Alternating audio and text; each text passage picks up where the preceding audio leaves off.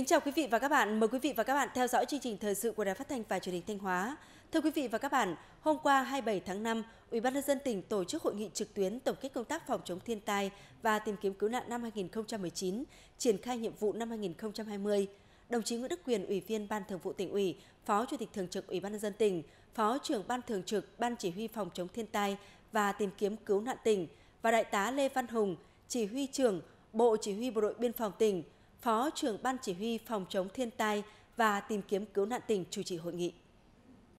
Đây là lần đầu tiên hội nghị tổng kết công tác phòng chống thiên tai và tìm kiếm cứu nạn được tổ chức theo hình thức trực tuyến tới 27 huyện thị thành phố trong tỉnh với sự tham dự của hơn 1.200 đại biểu là lãnh đạo các địa phương, các thành viên ban chỉ huy phòng chống thiên tai và tìm kiếm cứu nạn các cấp. Điều này cho thấy công tác lãnh đạo, chỉ đạo, tổ chức thực hiện các biện pháp phòng chống thiên tai và tìm kiếm cứu nạn ngày càng được các ngành, các địa phương quan tâm và nghiêm túc thực hiện.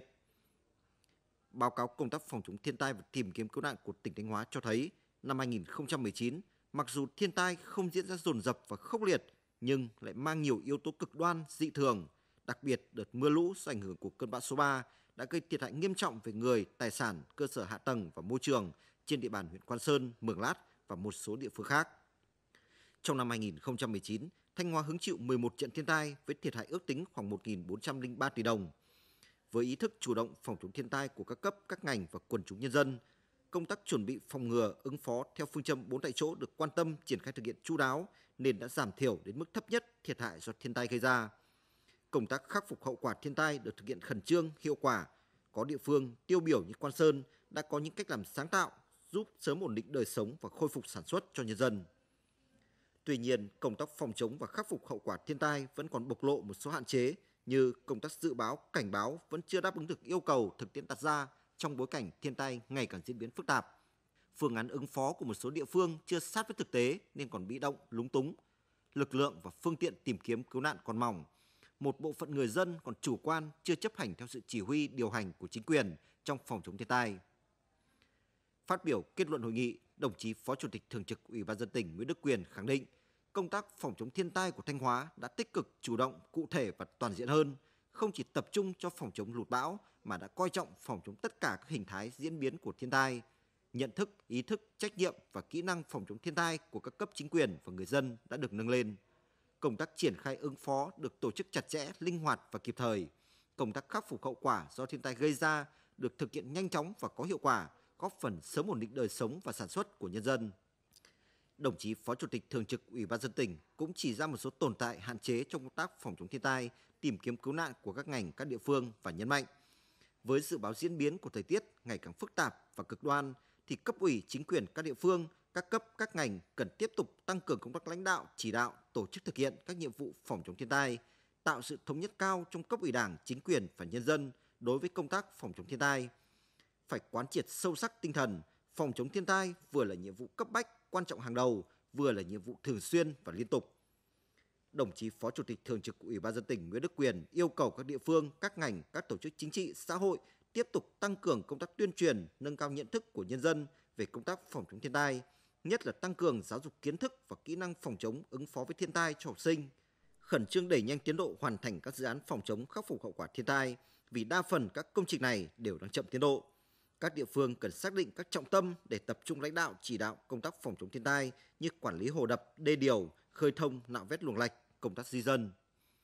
Cũng tại hội nghị, Ban thi đua khen thưởng tỉnh đã công bố quyết định của Chủ tịch Ủy ban dân tỉnh tặng bằng khen cho 15 tập thể và 26 cá nhân đã có thành tích xuất sắc trong công tác phòng chống thiên tai và tìm kiếm cứu nạn năm 2019. Hôm qua ngày 27 tháng 5, Đảng bộ Sở Giáo dục và Đào tạo Thanh Hóa tổ chức đại hội nhiệm kỳ 2020-2025, đại diện lãnh đạo Đảng bộ khối cơ quan và doanh nghiệp tỉnh đến dự. Trong nhiệm kỳ qua, Đảng bộ Sở Giáo dục và Đào tạo Thanh Hóa đã lãnh đạo thực hiện thắng lợi nghị quyết đại hội Đảng bộ, chất lượng giáo dục đại trà được giữ vững, giáo dục mũi nhọn được nâng cao, số lượng học sinh đạt giải quốc gia quốc tế giai đoạn 2015-2020 cao nhất từ trước đến nay. Đội ngũ cán bộ quản lý nhà giáo được xây dựng theo hướng chuẩn hóa, công tác sắp xếp mạng lưới trường lớp học phù hợp với tình hình thực tế của các địa phương, cơ sở vật chất, trang thiết bị dạy học của các nhà trường được tăng cường, kỷ luật kỷ cương nền nếp dạy học được đề cao. Đảng bộ luôn được xếp loại hoàn thành xuất sắc nhiệm vụ và đạt danh hiệu tổ chức cơ sở đảng trong sạch vững mạnh tiêu biểu. Trên cơ sở những kết quả đạt được và bài học kinh nghiệm từ nhiệm kỳ trước, Đại hội đã đề ra phương hướng nhiệm vụ trong giai đoạn 2020-2025 là đẩy mạnh thực hiện đổi mới căn bản toàn diện giáo dục và đào tạo. Đến năm 2025, đạt 100% phòng học được kiên cố hóa, 81% trường đạt chuẩn quốc gia, huy động 32% trẻ em trong độ tuổi ra nhà trẻ, duy trì, nâng cao chất lượng phổ cập giáo dục trung học cơ sở. Kết quả thi Trung học phổ thông quốc gia đứng top 20 tỉnh thành trong cả nước. Hàng năm có học sinh đạt huy chương cho các kỳ thi Olympic khu vực và quốc tế. Ủy ban nhân dân tỉnh Thanh Hóa vừa ký quyết định về việc phê duyệt kế hoạch phát triển sự nghiệp giáo dục tỉnh Thanh Hóa năm học 2020-2021. Theo đó, toàn tỉnh sẽ có 2.035 trường. Trong đó có 677 trường mầm non, 609 trường tiểu học, 555 trường trung học cơ sở, 72 trường tiểu học và trung học cơ sở, 86 trường trung học phổ thông, 9 trường trung học cơ sở và trung học phổ thông, một trường tiểu học và trung học cơ sở và trung học phổ thông, 25 trung tâm giáo dục thường xuyên dạy nghề, một trung tâm giáo dục kỹ thuật tổng hợp hướng nghiệp. Sở Giáo dục và Đào tạo Thanh Hóa sẽ căn cứ kết quả được giao, thông báo chỉ tiêu cho các huyện, thị xã, thành phố trong tỉnh để triển khai thực hiện – phối hợp với Ủy ban dân các huyện, thị xã, thành phố hướng dẫn chỉ đạo các địa phương, đơn vị điều chỉnh chỉ tiêu phát triển sự nghiệp giáo dục, đảm bảo phù hợp tình hình thực tế của mỗi địa phương. Đồng thời, phối hợp với Ủy ban dân các huyện, thị xã, thành phố kiểm tra, giám sát và hướng dẫn chỉ đạo các cơ sở giáo dục trên địa bàn tỉnh tổ chức tuyển sinh đầu cấp học, đảm bảo đúng quy chế, đúng đối tượng và kế hoạch được giao. Hôm qua, hãng hàng không Việt Nam Airlines đã khai trương đường bay Thanh Hóa Buôn Mê Thuột. Đây là một trong năm đường bay được Việt Nam Airlines mở trong tháng 5 nhằm đáp ứng nhu cầu đi lại tăng cao của người dân trước tình hình dịch COVID-19 đang được kiểm soát tốt. Đường bay Thanh Hóa, Buôn Ma Thuột và ngược lại do Việt Nam Airlines khai thác có tần suất 3 chuyến một tuần vào các ngày thứ Tư, thứ Sáu, Chủ nhật. Chuyến bay đầu tiên xuất phát tại sân bay Buôn Ma Thuột lúc 8 giờ 45 phút, hạ cánh sân bay Thọ Xuân lúc 10 giờ 15 phút, có 141 hành khách. Ngay sau khi máy bay hạ cánh, lãnh đạo các sở giao thông vận tải, huyện Thọ Xuân và lãnh đạo cảng hàng không Thọ Xuân đã tặng hoa và chúc mừng phi hành đoàn. Trong ngày hôm nay, cũng có 143 hành khách lên chuyến bay từ cảng hàng không Thọ Xuân đi Buôn Ma Thuột. Tôi cho đây là một cái chuyến bay rất là hiệu quả bởi vì người Thanh Hóa ở trong Buôn Ma Thuật rất nhiều và đặc biệt là Thọ Xuân nữa. Cho nên là chúng tôi thấy là cái chuyến bay này mở như thế là cũng rất là kịp thời cho bà con ở huyện Thọ Xuân cũng như nói chung trong tỉnh và các cái tỉnh bạn. Cái Đường bay mở ra được là có sự ủng hộ và rất là quyết tâm của lãnh đạo tỉnh, của các sở ban ngành Thanh Hóa. Hiệp hội Du lịch Việt Nam đã phát động là người Việt Nam đi du lịch Việt Nam thì cũng mong muốn rằng với đường bay này thì sẽ phát triển được, kích cầu được cái lượng khách du lịch giữa Thanh Hóa và Tây Nguyên và ngược lại. Nhân dịp khai trương đường bay mới, Vietnam Airlines đã triển khai chương trình khuyến mại với mức giá vé ưu đãi chỉ từ 99.000 đồng một chặng dành cho hành khách mua vé và thực hiện chuyến bay từ nay đến hết ngày 30 tháng 6 năm 2020. Việc Vietnam Airlines đưa đường bay Thanh Hóa Buôn Ma Thuột vào khai thác không chỉ đáp ứng nhu cầu đi lại ngày càng cao của nhân dân mà còn tạo cầu nối phát triển kinh tế giao lưu giữa hai tỉnh, hai khu vực trọng điểm của đất nước.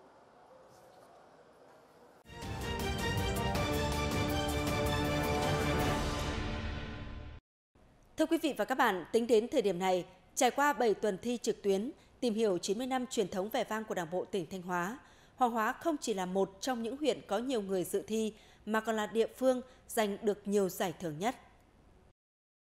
Một giải nhất, một giải ba, ba giải khuyến khích là thành tích mà thầy và trò trường Trung học phổ thông Lương Đắc Bằng, huyện Hoàng Hóa đã giành được qua 7 tuần dự thi trực tuyến, tìm hiểu 90 năm truyền thống vẻ vang của Đảng bộ tỉnh Thanh Hóa. Riêng lớp 11A3 có hai học sinh đạt giải, trong đó có em hai lần đạt giải và nhiều em có người thân đạt giải. Để có được kết quả này, ngay từ khi cuộc thi mới được phát động, trường đã giao nhiệm vụ cụ thể cho từng chi bộ và các tổ chức đoàn thể. Các thầy, cô giáo không chỉ hướng dẫn học sinh tìm hiểu kiến thức để trả lời đúng câu hỏi, mà còn cùng các em phân tích, thảo luận để đưa ra những con số dự đoán chính xác nhất số người trả lời đúng câu hỏi qua từng tuần. Thầy cũng là người đồng hành với chúng em để giúp à, chúng em đạt được à, kết quả như ngày hôm nay. Các bạn trong lớp tinh thần rất là hào hứng và à, tham gia rất là tốt ạ.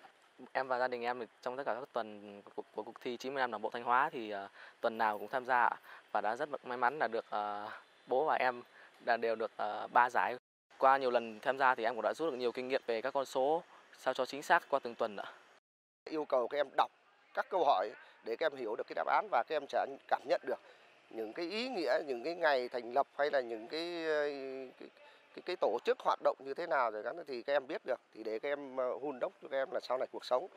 chúng ta cũng nên có những cái cuộc thi như thế này về nhiều cái lĩnh vực khác nhau về về kỹ năng sống rồi về nữa để cho các em ờ, cái truyền thống vẻ vang của đảng bộ rồi của quê hương rồi của đất nước.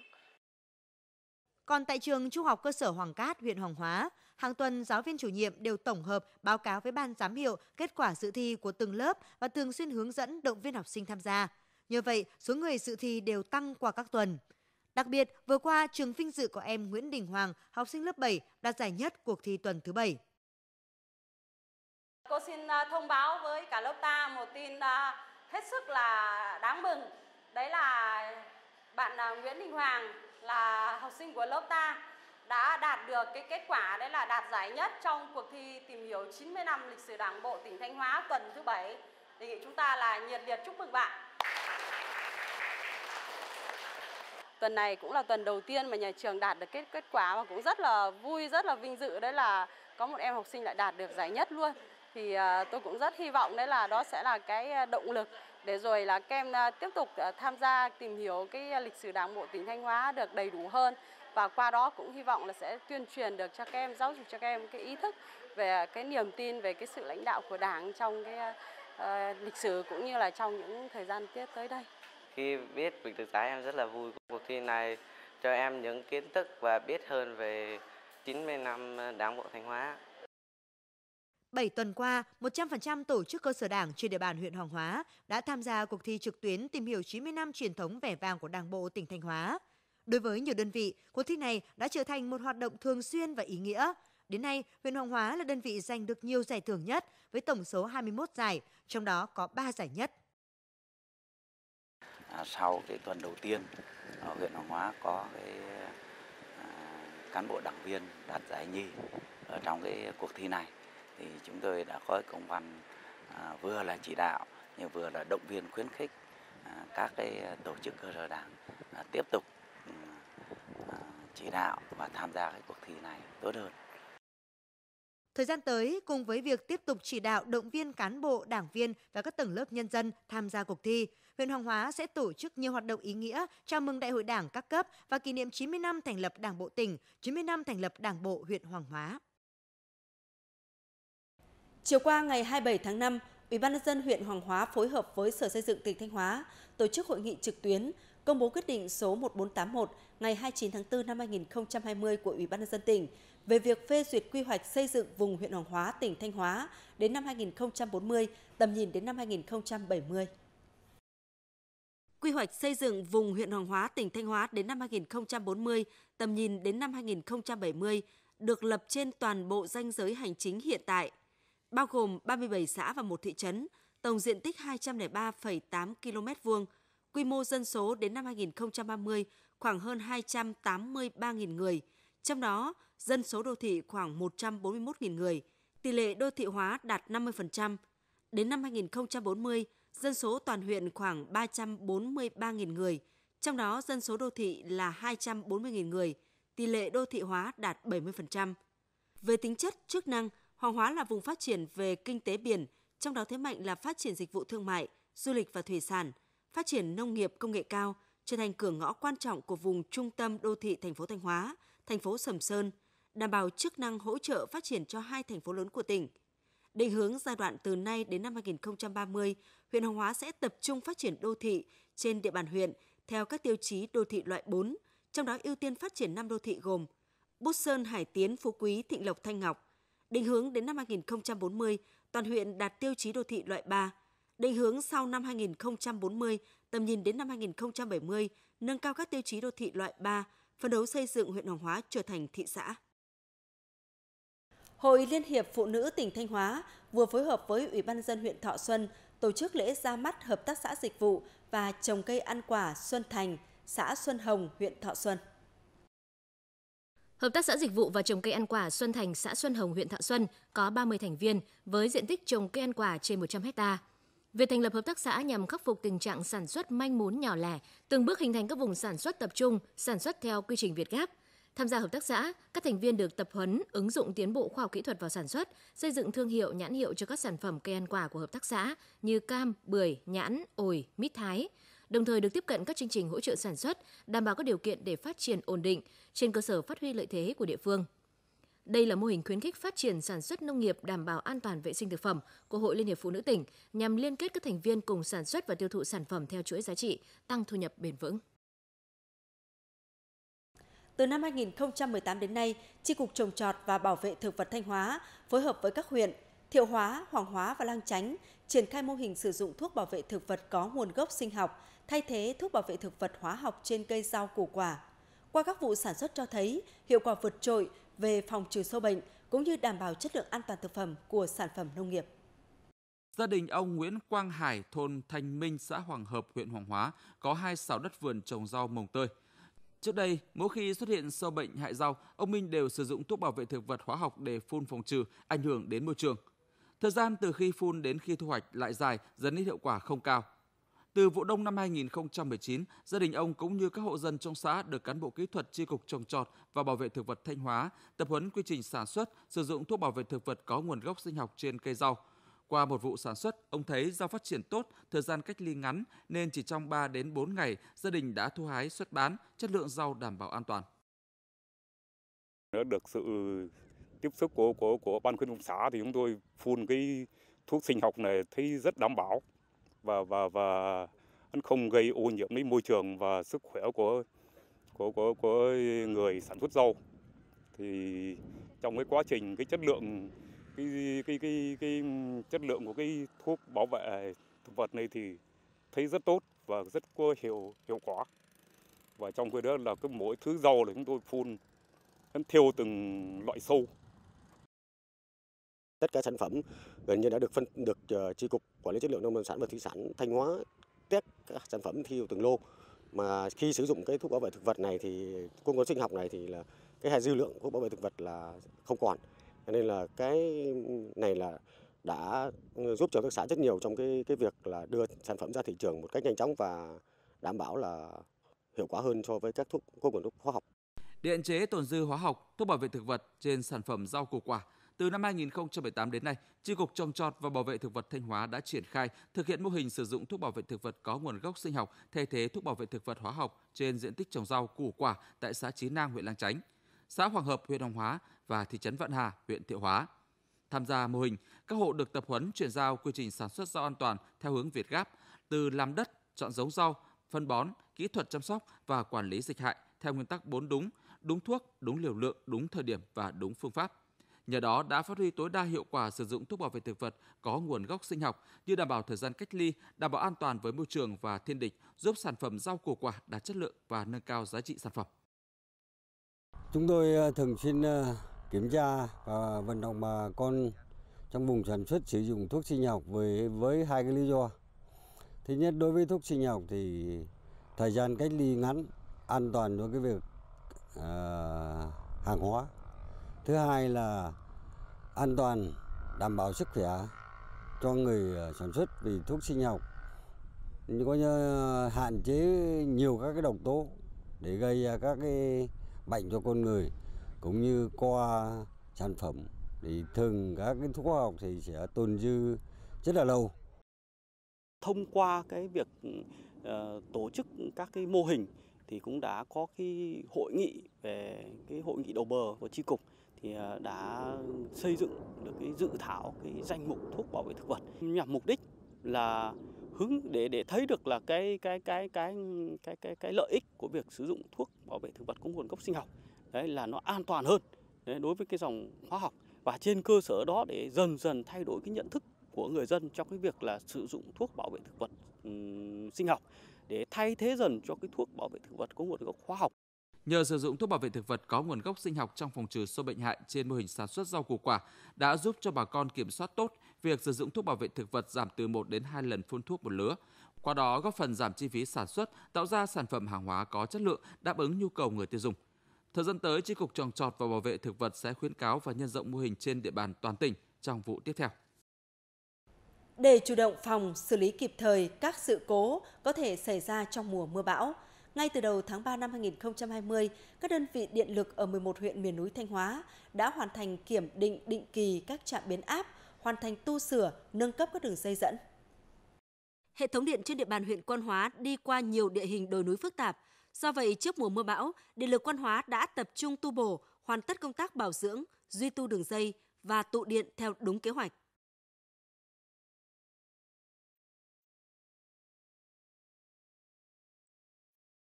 Bà con hàng năm thường bị mưa lũ gây thiệt hại, sạt lở đất đá hết sức nguy hiểm. Nay đến nơi ở mới ổn định, có điện, nước và rất mong tiếp tục được quan tâm để giữ an toàn khi cấp điện, bởi sản xuất, sinh hoạt rất cần có điện.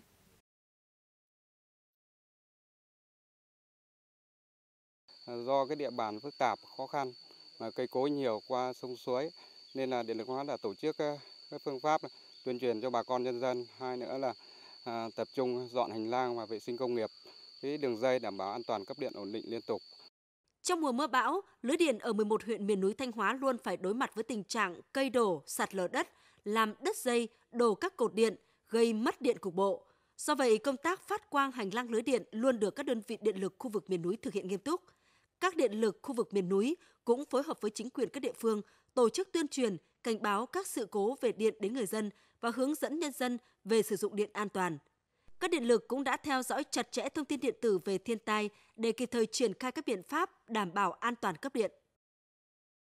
Với cái địa hình là chủ yếu là đồi núi, à, sông suối rất nhiều, đường à, dây à, chạy qua các vị các vị trí sung yếu cũng nhiều nên là điện lực Quan Sơn cũng đã cho các anh em là khắc phục những cái vị trí sung yếu cũng đã diễn tập à, tại chỗ cho tất cả các anh em à, cán bộ nhân viên trong ngành lực là làm sao để khi à, xảy ra ừ, sự cố trong các mùa mưa bão thì có thể khắc phục nhanh nhất. Trên cái địa bàn sông suối nó cũng rất nhiều, cũng có khó khăn trong cái vấn đề về cái công tác cấp điện trong khi mà có thiên tai xảy ra thì chúng tôi cũng đã sẵn sàng các cái vật tư, phương tiện rồi cũng như tinh thần để khắc phục nhanh nhất khi có bão lũ xảy ra. Sự việc mất điện xảy ra trên địa bàn trên diện rộng, chúng tôi cũng đã tập trung vào trong các cái để mà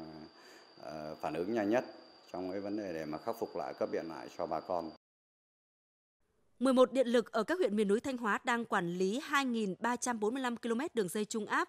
3.942 km đường dây hạ áp và trạm biến áp phân phối. Để vận hành lưới điện an toàn, hạn chế các sự cố sạt lở gây hư hỏng hạ tầng điện khi có mưa bão, các đơn vị điện lực đã di rời được gần 50% vị trí cột, trạm biến áp và phụ tải ra khỏi vùng có nguy cơ cao.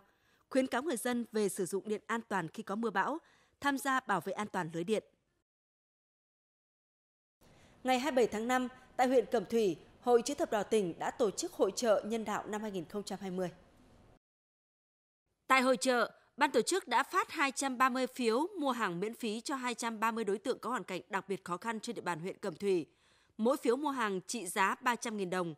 Với tờ phiếu này, các đối tượng sẽ lựa chọn các sản phẩm được bày bán bằng giá trị 300.000 đồng. Hội trợ nhân đạo năm nay có sự xuất hiện của 6 gian hàng miễn phí. Tại các gian hàng này, các đối tượng trên sẽ được nhận miễn phí các sản phẩm được bày bán. Nhân dịp này, ban tổ chức cũng đã trao tặng 5 chiếc xe lăn cho 5 đối tượng là người khuyết tật có hoàn cảnh đặc biệt khó khăn trên địa bàn huyện. Ngoài sự hỗ trợ của Trung ương hội, tỉnh hội chữ thập đỏ, nguồn kinh phí 160 triệu đồng cho hoạt động chợ nhân đạo năm 2020 của huyện Cẩm Thủy, còn có sự quyên góp ủng hộ của các tổ chức cá nhân trên địa bàn huyện. Hội chữ thập đỏ tỉnh vừa phối hợp với công ty xi măng Long Sơn và huyện Thọ Xuân tổ chức lễ khánh thành nhà chữ thập đỏ cho bà Hà Thị Hai ở thôn Hạ Vũ, xã Thọ Lập là hội viên Hội truyền thống Trường Sơn, đường Hồ Chí Minh. Bà Hai hiện ở một mình, do tuổi cao nên bà thường xuyên bị đau ốm, điều kiện kinh tế rất khó khăn. Ngôi nhà cũ chật hẹp và xuống cấp.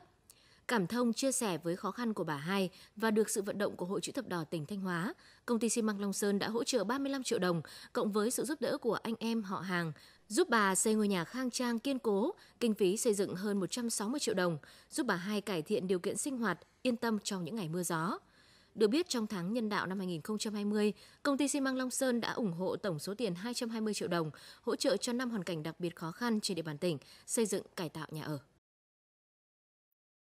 Chương trình thời sự hôm nay xin được khép lại tại đây. Cảm ơn sự quan tâm theo dõi của quý vị và các bạn. Xin kính chào tạm biệt và hẹn gặp lại.